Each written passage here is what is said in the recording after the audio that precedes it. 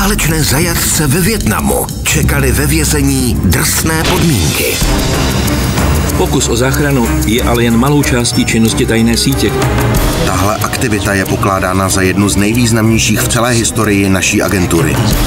Tajná operace měla přinést jejich osvobození. Máme spoustu věcí, které jsou utajované, ale tohle bylo doopravdy přísně tajné. Protože špioni se popravují. Čeká je zkrátka smrt. Špion v hanojském Hiltonu v úterý ve 20 hodin na CS History.